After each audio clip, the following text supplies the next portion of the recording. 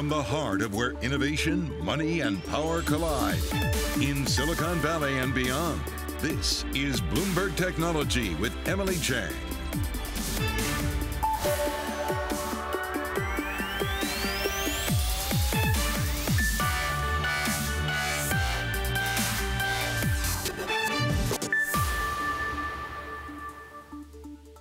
I'm Emily Chang in San Francisco, and this is Bloomberg Technology. Coming up in the next hour, end of an era. As Jeff Bezos gets ready to step down from Amazon next week, we will talk about his legacy at the company that has reshaped how we think about buying anything and everything. Plus, natural gas field now fueling Bitcoin. We'll talk about mining and its environmental problems with a key player on the Texas prairies and medical care from the air. Drones debut as a critical way to deliver life saving blood, vaccines, and more. We'll talk to the CEO of Zipline about redefining the global supply chain. All those stories in a moment, but first, U.S. stocks advancing after the latest jobs figures jumped the most in 10 months. Our Kriti Gupta has more. Kriti, finally, some good news. Absolutely, Emily. After two months of disappointing jobs reports, you had a positive payrolls number, and that actually helped the S&P 500 close 0.8%. Now, of course, we do have extremely low volume ahead of that holiday weekend, so you did see stocks be a little bit on cruise control. But I just want to show you the disparity here between those tech stocks up 1.2% on the day and small caps and cyclicals down 1% on the day. So you are really seeing the defensive tone really take a bid. Now, before I show you other of the subsectors of tech, I really want to highlight what Didi did because, of course, we have that IPO really in the spotlight right now. Of course, after that 1% gain on their debut, they had another solid number of gains, but then today was their first down day after those first two sessions. So let's just see if that momentum really keeps up in this kind of light trading environment, which brings me to what the other subsectors of tech are doing. So, of course, you had the IPO names actually drop 0.3%. So that Didi picture is just part of that broader move. Stocks doing pretty well, of course, in line with that NASDAQ outperformance. But then even to the downside, remember that time of last year when we had tech really be that bundle trade? It meant that everything within tech was doing well. Not the case anymore. Those Chinese ADRs, very tech heavy, down 1.9%. And of course, you have those NASDAQ biotechs not in on that positive tech trade, Emily. So that's the macro picture. Let's get to more of the micro with Ed Ludlow. Yeah, I'm taking a look at Disney. You can actually see on my screen basically flat at Friday's close. We saw a big drop during the session on a report from the information that Disney Plus subscriber growth slowed in the first half of the year. They, they cited internal data, which Disney basically refuted. If you look at the trading over the last few days, you can see what it did. It caused pretty significant drop on a day where the shares had been higher. This is what I'm talking about over here. Disney spokesperson says the information contains factual inaccuracies that do not reflect the performance of the service. Nonetheless, investors paying attention. I'm also keeping an eye on Amazon, up 2.3%, its biggest gain since March 9th. Why? Not much news out there but it's Jeff Bezos' last day, last weekday as CEO before he hands over to Andy Jassy, before he becomes executive chair.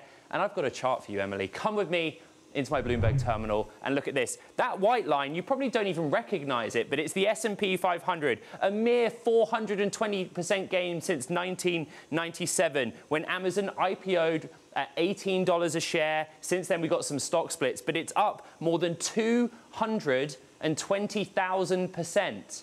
I'm not making that up. That's real. It's on the chart. You can see it incredible legacy that he leaves behind. A tough act to follow. But come back to me in the studio because let's bring it back down to earth. Get it?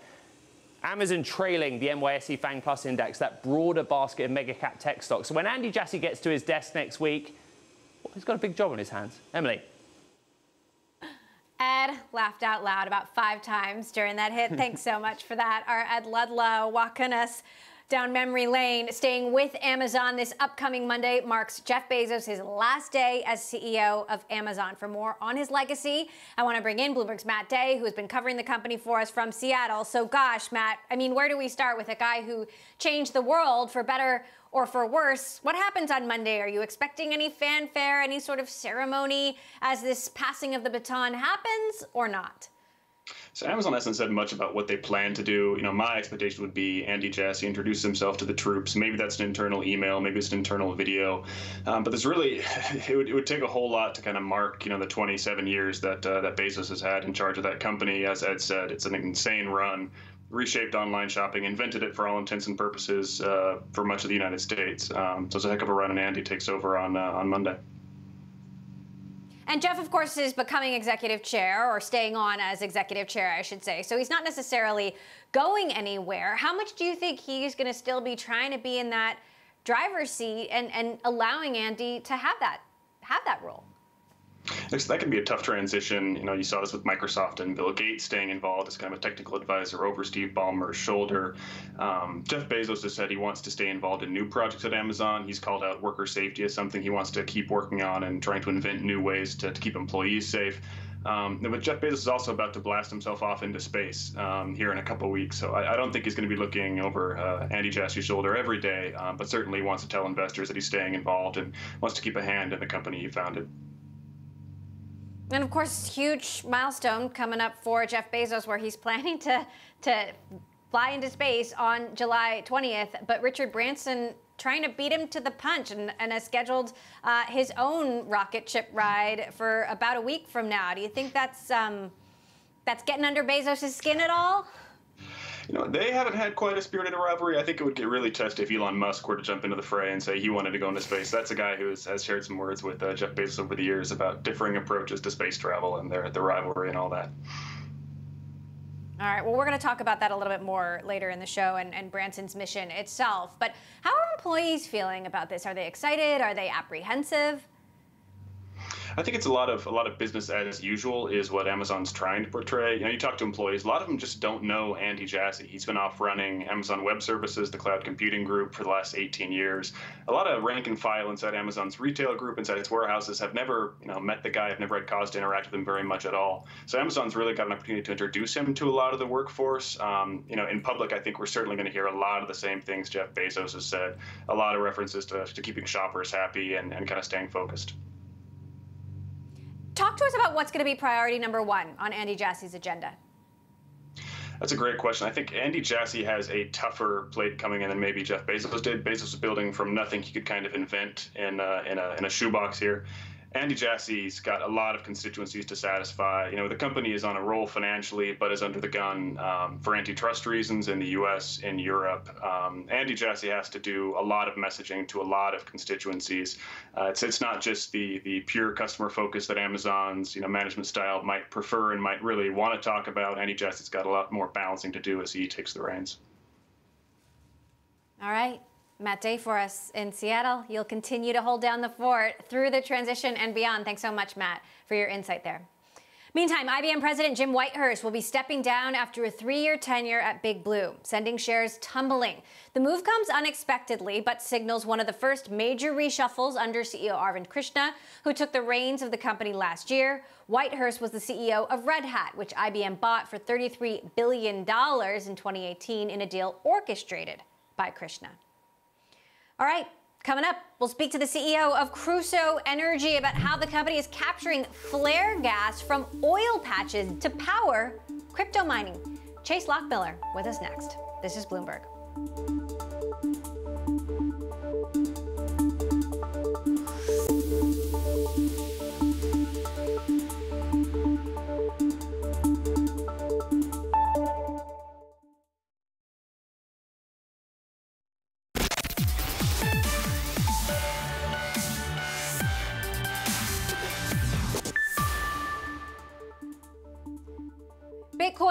Fundamentals put to the test this week as investors all kept an eye on that crucial $30,000 threshold. The cryptocurrency fell below last week. We're going to have to see what the weekend holds for price action. Bitcoin now trading about $33,000. We'll keep an eye on it.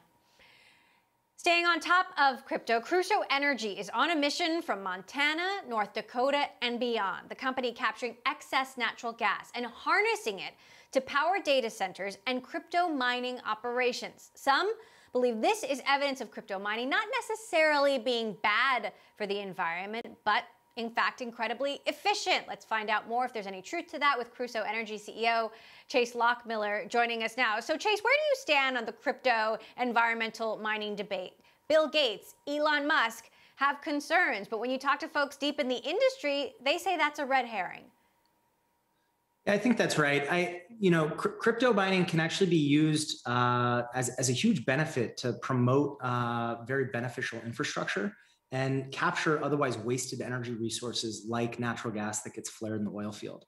Um, it's also, you know, very useful to uh, unlock value in otherwise stranded renewable energy resources um, that are generating power capacity that that doesn't have a home to actually be consumed. Um, so when you look at the actual global footprint of uh, Bitcoin mining energy consumption, uh, it's shocking. It's shockingly driven uh, by by a lot of these wasted energy resources. And we, when we say mining, we really mean a bunch of engineers and computers uh, running very complex math problems, trying to solve those problems to mine mine that cryptocurrency. Talk to us about what Crusoe is in fact doing. How are you using some of this excess energy to power these mining operations? Sure. So Crusoe has a solution called digital flare mitigation, and what it does is we, uh, you know, in the oil industry, um, there's this some, there's something that happens called flaring, and flaring persists when oil companies drill oil wells, um, and natural gas is an associated byproduct of that oil production. And when they don't have the physical infrastructure to transport that gas to a downstream market where it can actually be consumed, um, they're sort of stuck in this situation where the best, most economic, uh, and most efficient thing to do with it is to just light it on fire. Um, and this actually creates a massive emissions footprint um, and, and a, and, a, massive waste of an otherwise you know, useful uh, energy resource. So Crusoe's solved that problem uh, by basically co-locating uh, data centers on site with the oil production. And now instead of the gas being flared, we're able to uh, uh, utilize it to generate power and then utilize that power to power data centers that we use for very energy intensive computing applications like Bitcoin mining, uh, training large scale artificial intelligence algorithms, and uh, you know generating uh, you know rendering for for, for graphics and animation development. I'm curious what the conversation was like when you asked oil operators and ranchers and farmers if you could move servers onto their property to mine Bitcoin, which um, some people might not even know what Bitcoin is. Sure, it was uh, it was definitely a uh, a, a leap um, for them, but you know they they I think for the, as a whole the industry has been very very receptive to the idea, uh, largely because you know they see it as a solution to flaring uh, you know, I think I think the response early on from a number of operators was, you know, I don't really care what you're doing with the gas, so long as you're sort of making my flare go away. Um, that's a huge environmental win for me, um, and it's a huge benefit to my overall production process. So, talk to us about how big your operations are. Uh, we mentioned Montana, North Dakota. You're expanding in Texas. That's correct. Um, so currently we've deployed about 45 systems, um, primarily in North Dakota and Montana. Um, we're expanding. Uh, so that area is called the Bakken. Um, it's one of the largest oil basins here domestically in the United States. Um, and we're planning to expand down into the Permian Basin, which is in West Texas, um, later this year. Uh, you know, the team's about 75 people. That's that's sort of geographically dispersed between uh, Denver, San Francisco, uh, and a big field operations staff in, in North Dakota uh, to support our on-site operations. And uh, you know that that's kind of where we're at today. We just closed a, a Series B round of funding, which was led by Valor Equity Partners, and uh, you know we had great participation from other uh, climate tech investor groups like Lower Carbon Capital as well. And also some, you know, crypto-focused folks like Coinbase, the Winklevoss twins. You know, yep. we've seen this big crackdown from China on mining. We're seeing regulatory action being taken in the UK. We're waiting for regulators to take a stand on cryptocurrency here in the United States. What have your conversations with regulators been like? Uh, generally speaking, I think very positive. Uh, I think I think uh, the regulatory climate here in the United States has been, you know, very thoughtful um, around uh, both Bitcoin mining and around flaring. I think, you know, when you look at a state like North Dakota, uh, they're they're sort of you know uh, between a rock and a hard place where you know 45 percent of the state's revenue is generated from the oil industry, um, and and flaring is a big problem, and they want to do the right thing, uh, but if they overregulate it, you know they they kind of outlaw the industry. And coming up with you know coming to table with coming to the table with an innovative solution like digital flare mitigation uh, that can actually create economic value while also reducing the environmental footprint of of the oil industry um, has been very, very well received in markets like that. Um, as far as the China and with China goes, cracking down, sure. Well, I guess my question is where where do you think mining is going to spread next? If it's not going to happen in China, is that a huge boon to the United States or elsewhere? Absolutely. I think it's a great thing for the industry as a whole. I think it's a great thing for the Bitcoin network. Uh, one of the big criticisms has always been that uh, the mining process is highly concentrated in China. Um, there's a lot of you know obscurity and uh, opaqueness to that. And with the ban in China, you're seeing that hash rate get distributed around the globe, um, and you're seeing a, a, more you know you're seeing the benefits of decentralization. Uh, the network is still continuing to operate, and you're you know you're seeing a massive influx of hash rate to areas like uh, North America. Um, Central Asia is, is, is a big beneficiary of this as well. Um, and you know, I think it presents a, a great opportunity to build a whole new industry domestically here in, in North America. All right, well, we'll keep watching uh, how your process unfolds. Chase Lockmiller of Crusoe Energy, thanks so much for explaining all that to us. All right, coming up, we're going to speak to the CEO of the leading home remodeling and design platform, Houzz, about its new pro service. Co-founder Adi Tatarko with us next. This is Bloomberg.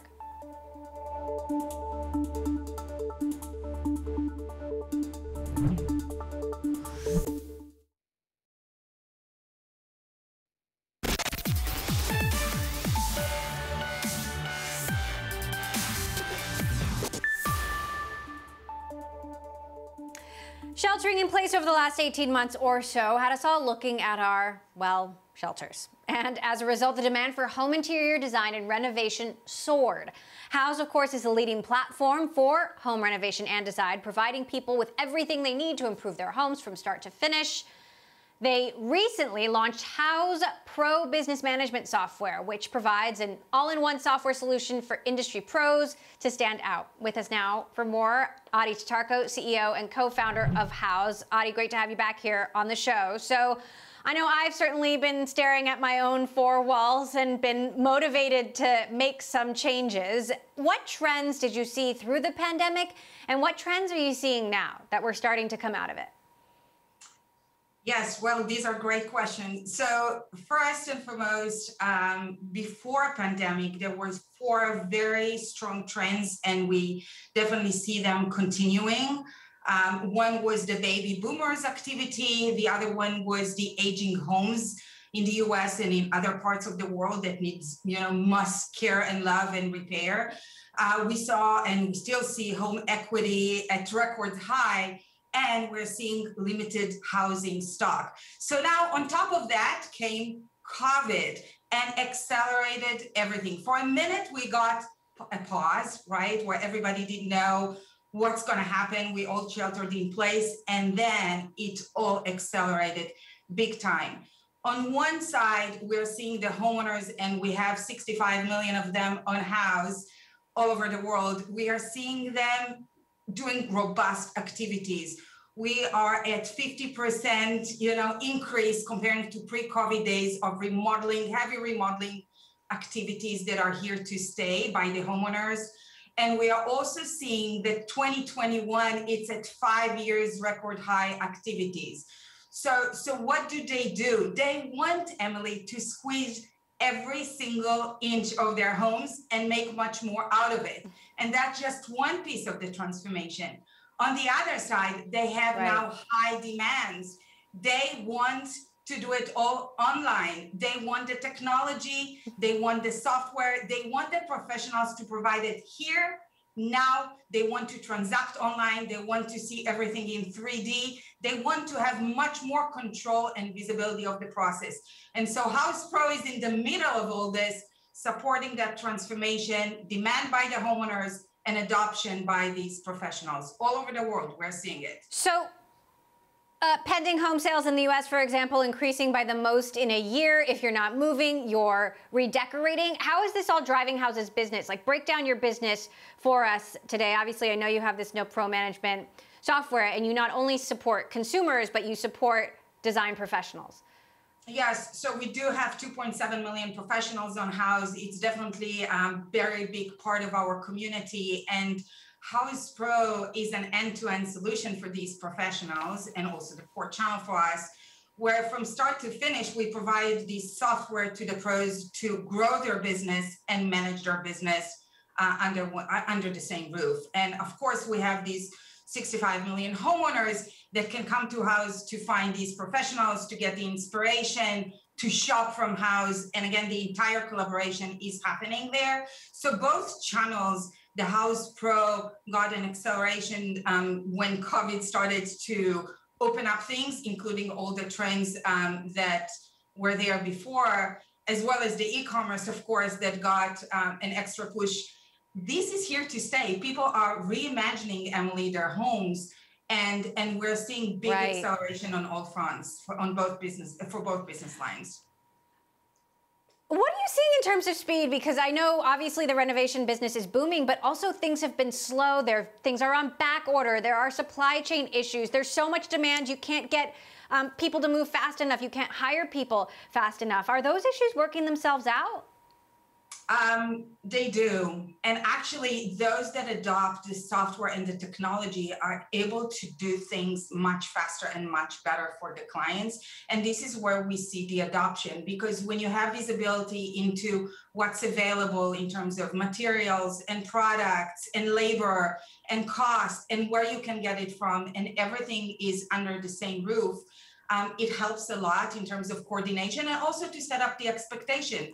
Gantt charts, timeline, this is where I'm saying the expectation and the demand, you're right, it's high and you have to solve this shortage by providing visibility, what is available, where, how, how to get it. Um, and the, the, homeowners are demanding it. They, they want it to happen here and now. You're right, professionals are adopting it because you cannot wait anymore. Okay. When you are homeowners, you want it now.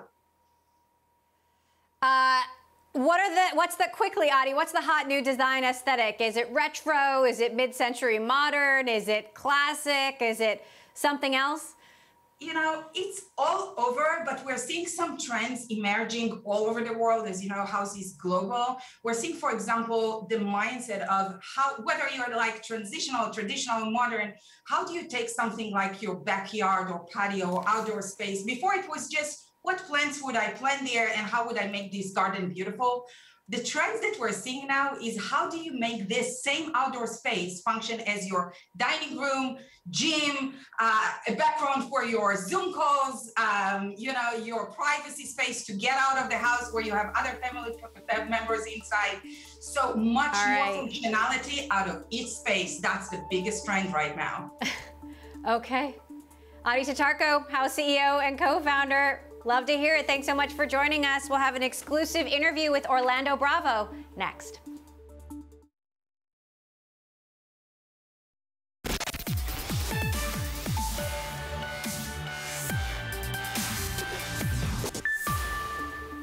It's not important when uh, any of these space flights go. What's important is that they're ready to go, and and that's really what you're hearing from us here is is we're ready.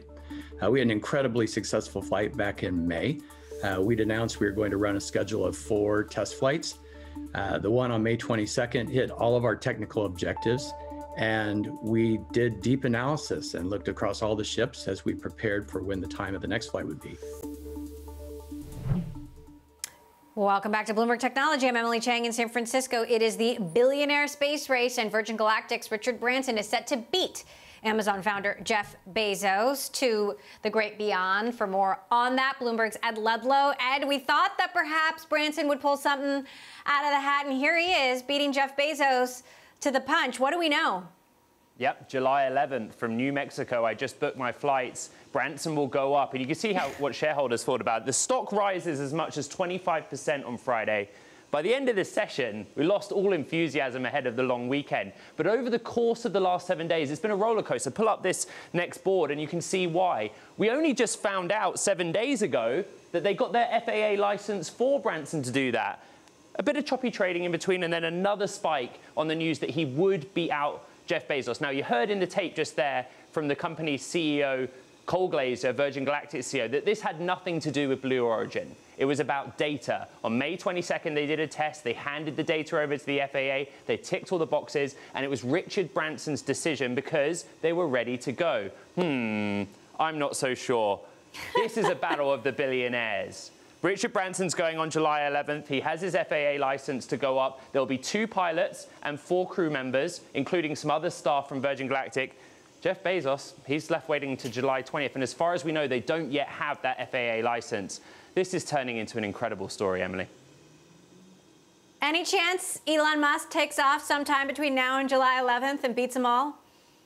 I don't know. There's that famous quote, I've said it time and time again. He says he will only get on a rocket when he's sure that he'll die on Mars, not on impact. In other words, he wants to know that his rocket will land safely before he goes into the stars. That said, we don't know who the mystery winner of that auction is for the Blue Origin seat. Could be anyone as far as we know. It was a blind auction, $28 million.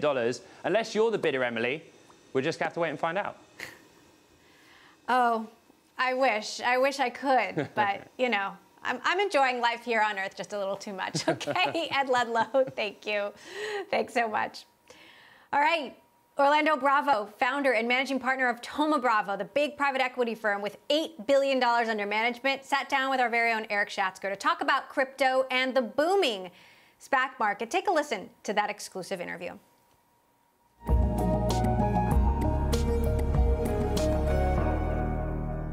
What these two big movements are showing us is the need for inclusion in Wall Street and in the financial system by individual investors. So you take Wall Street bets. I read a blog the other day that there was a SPAC sponsor that said, well, my SPAC is not for retail investors. I was like, well, I'm a retail investor. Could it be for me? Retail investors are smart, highly educated, they make good decisions, and they won in the game. And talking about one of the arbitrage situations, they have figured out one of them in the market, and they're doing that very successfully. So, so good for them. Take investing on your own hands, have fun at it, and yeah, they'll take risks, and sometimes they'll make money, sometimes they'll lose money. But I think it's a really, really good thing, and it's really inclusive, and people want that in the world of Wall Street and investing. And, and in crypto, you have a world of young people that want their own financial system and their own culture. And it is very powerful, and I'm a big believer in it. Blockchain technology is completely disruptive. And on top of that, the currencies, they'll be worth more if more people adopt them. And the bet is it's highly likely that more people will adopt them than less. So when there's a Wall Street bets driven short squeeze whatever hedge fund happens to be short, whatever stock, are you sitting there sort of cheering from the sidelines? I'm cheering uh, so much because I also don't like shorting. I don't, I don't like betting against people. I don't like betting against companies. I don't like the short game. Uh, it's, uh, you're trying to hope somebody does poorly and even spreading potentially bad information that doesn't exist on that company. And this other movement uh, makes hedge funds think about that again. Sometimes that information is good information, sometimes it's real, and sometimes the companies that are being shorted really are pretty lousy companies, and maybe worse than that, maybe they're fraudulent. How do we deal with that problem if there are no shorts? I would say don't buy the stock. Things will figure, figure themselves out, but just don't buy the stock. Our Eric Schatzker there with Orlando Bravo. Meantime, Robinhood co-founders Vlad Tenev and Baiju Bhatt cut their own salaries by 90%, but yet they've still managed to become or will become billionaires if Robinhood's IPO goes well. Joining us now, Bloomberg Sonali Basak, who's been keeping a close eye on Robinhood since the S1 rolled out. Some details buried in there about how these guys are paid. Sonali, what do we know? Yeah, it's so interesting. So while their uh, pay, their salary was cut by 90% in April to about $34,000, when you take into account their equity awards, what they'll get paid out in the future, they're well over billionaires. So they've really made it into the club of the most rich Americans. And a lot of this was also discovered by my colleague Anders Melin. It was really great reporting because you know, the, the better Robinhood does, obviously the better the CEOs do. But, you know, the reason it's also interesting, Emily, is because this is the dream, right? In San Francisco to be paid in equity, have a company do well, and cash out on it. I'm sure that the employees also want to be cashing out as well here. Indeed. And look, it's not unusual for CEOs, many CEOs of these big tech companies, from Steve Jobs, I believe he had a $1 salary. You know, they don't get paid a lot in salary, but of course they're, you know, incredibly wealthy as a result of the equity that they hold in their companies, but the their payouts does it not depend on how Robinhood's IPO, yeah. how the shares actually perform? Certainly, and it's over a range of time. So uh, the current disclosures are about 16 bucks, but the payouts in the future are uh, based on a range of price targets, and those prices are anywhere from 30 bucks to 300 bucks. So there's a really uh, wide range here on how well Robinhood has to do for them to hit some of these payout targets. What are you hearing, Sonali, in terms of investor enthusiasm? Are they excited about getting in to it's Robinhood having the chance? Great question. I've spent the last two days calling every underwriter I know and every investor I know to get a sense of uh, how people feel about it super interesting how a lot of these legal issues are being shrugged off. Uh, the lockup periods are a big question mark. Uh, who's going to sell earlier on? Can there be a way to short the stock earlier on? So a lot of questions around the valuation. A lot of people are still baking in what this means, especially if growth starts to plateau a little bit. So a lot of big questions on Wall Street and certainly for the new investors that'll be coming in. Well, it'll certainly be interesting to see. Uh, it's kind of a meta exercise, right? To see Robinhood itself um, trading on the public markets, and you wonder: Are retail investors going to um, set their sights on Robinhood like they have? Um, GameStop and others? Yeah, it's, it's interesting to ask a question like that too, and also um, a fun, you know, thought exercise have been happening, the exposure to crypto you have when you invest in Robinhood stock. You know, Emily, not for nothing, I did look at Coinbase's stock from earlier this year because Coinbase is another company where people were really worried about whether uh, they were going public at the top, and they are they have declined quite a bit after their early rise. So is Robinhood going to be a similar story, or are they going to be sell to these selling to these new investors that they can continue to be be what they've been for them the last couple of years, even with those outages and other um, hiccups we've seen in the last couple months. Interesting. Well, it's certainly going to be a ride every step of the way uh, to that big day and beyond. I know you're going to be covering it every step of the way. Sonali Basak for us. Thanks so much for that report. All right, coming up, drone operator Zipline has raised $250 million to expand its footprint in Africa. Zipline CEO Keller Rinaudo joins us next to talk about how the pandemic has changed its course of history. This is Bloomberg.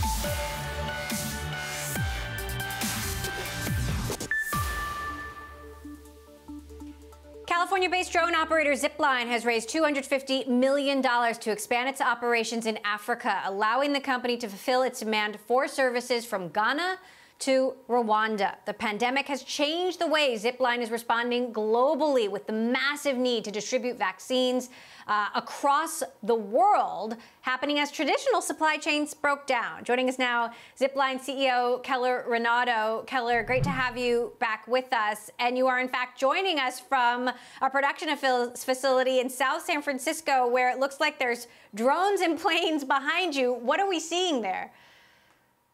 Yeah, uh, I'm standing in Zipline's manufacturing facility, which is in South San Francisco. So behind me, you can see autonomous aircraft coming off the manufacturing line, uh, getting ready to head to you know, places as diverse as Rwanda, Ghana, Nigeria, uh, North Carolina, or Arkansas. So you know, we're, we're, as you mentioned, we've really seen the pandemic create a, uh, a, a totally new kind of demand for logistics services, particularly instant logistics.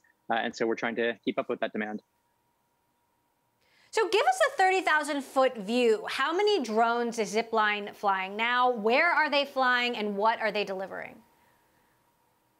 So uh, Zipline's when, when we started in 2016, partnering with the government of Rwanda, we actually initially, you know, our initial service contract was to deliver a wide variety of blood products to 21 different hospitals. Over the last two years, that service has expanded dramatically. Today, we serve about 2,500 hospitals and primary care facilities across Rwanda, Ghana, and the United States.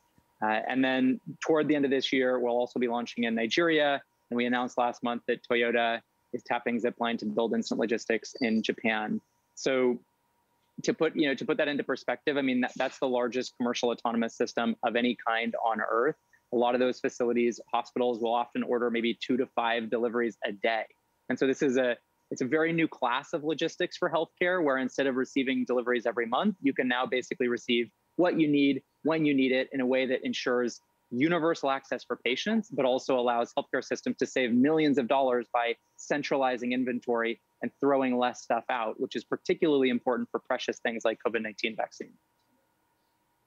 Wow. So, talk to us about how the pandemic has sort of helped and you know changed the way your operations have evolved and and responded because um, traditional supply chains really broke down through the pandemic and now there is a demand and need for vital vaccines and so much more that we didn't have before. Definitely emily. I mean that's what we saw. So uh, I, I, think we, you know we've depended on traditional logistics for so long. Sometimes i, I think we all forget it, the, the ways in which they are fragile so you know, good examples. I mean, Zipline was already serving about, I think, 1,500, 2,000 hospitals and primary care facilities when the pandemic struck. But one of the quick things that we that we immediately recognized was we saw demand for traditional vaccines, for example, these are called EPI vaccines, such as traditional childhood vaccination, went up about 10x in the first month of the pandemic as quarantines were put into place. And suddenly, a lot of people weren't showing up to work. A lot of traditional logistics that were moving those vaccines was no longer working. And so over the last 12 months, Zipline has delivered over 2.5 million doses of just traditional vaccine, making sure that countries in the middle of a pandemic can keep doing the essential healthcare work that you have to do to keep people healthy uh, and vaccinated.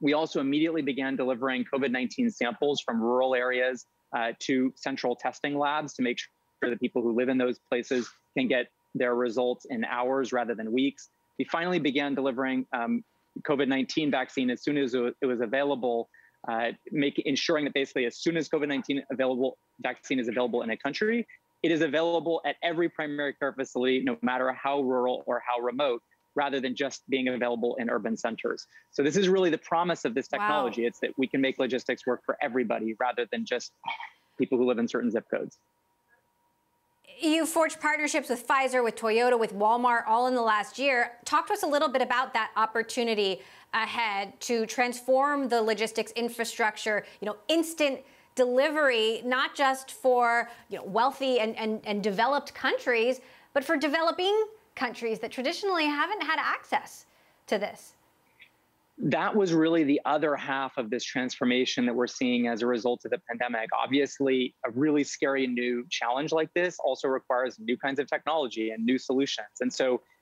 not only did we see the work that Zipline's doing multinationally in Africa really accelerate, but also we've seen some of the biggest, you know, most respected companies in the world, US companies, starting to take big bets on instant logistics as ways, particularly of providing healthcare and health and wellness products, m- making sure that we can deliver those things directly to the home. We've seen every health system in the US is basically, I think so many of these health systems thought that they had maybe 10 years to affect sort of this digital transformation and caring for people in the home. And now a lot of them are accelerating that and trying to do that in one year. So telepresence is one half of the solution so people can talk to a doctor.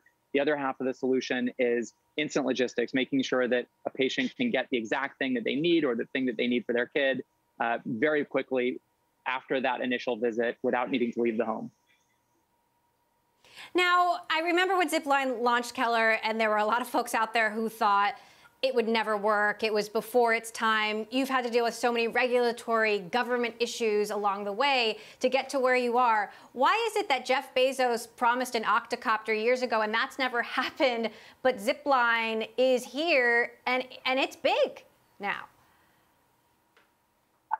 for sure, there are a lot of companies I think that have you know made big announcements in this space. I mean, we take that as a positive. I think a lot of companies are realizing that instant logistics is it's a huge opportunity. It's going to be a big industry. And the thing that's most important to Zipline is it's an opportunity to build the first logistics system that serves all people equally. Uh, I think a lot of people are realizing that building this kind of technology is definitely harder than we initially expected.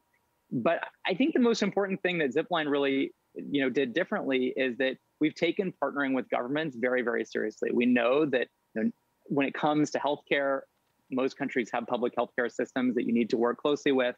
And when it comes to getting national regulatory approval for these kinds of systems in the way that Zipline has, that came through these really amazing partnerships directly with countries, with civil aviation authorities, with ministries of health. Uh, that enabled us to get to the point where we are today, serving about 25 million people. So I think you know there's more credit to uh, the governments we partner with than, than than to us.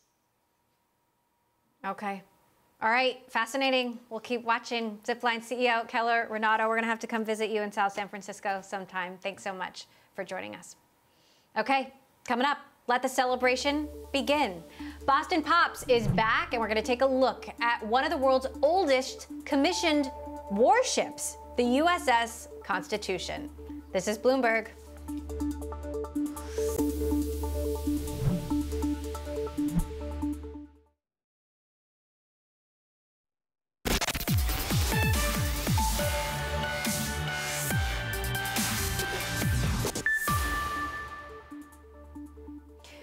Of July celebrations are underway, and the Boston Pops is back after being canceled last year amidst the pandemic.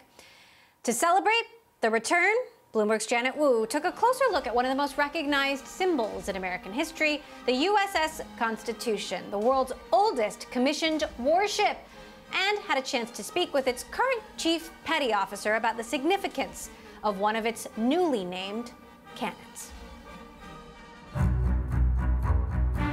The USS Constitution, also known as Old Ironsides, is the world's oldest commissioned warship afloat. We try to have our sailors that give the tours and talk about her, like really bring that history to life.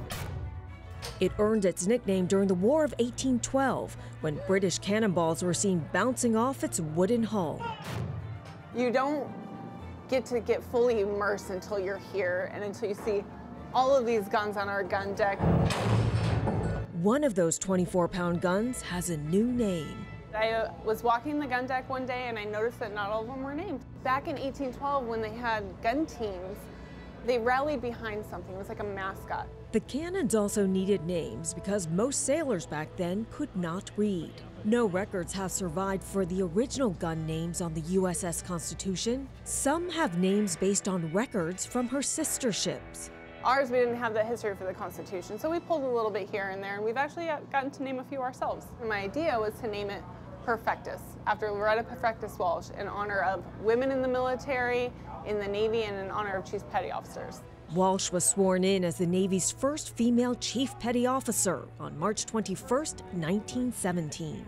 She was the first female to enlist in any branch of service, and she was the first one to get equal pay and equal rights and equal benefits, which was unheard of in like 1917. Her history is what made my history possible. The naming ceremony, which also coincided with Women's History Month, was streamed on Facebook ahead of the ship's reopening to the public.